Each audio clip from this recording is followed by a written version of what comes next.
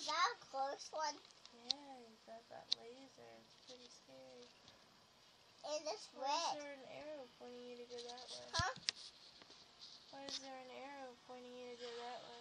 That that that arrow tells me to. where they are.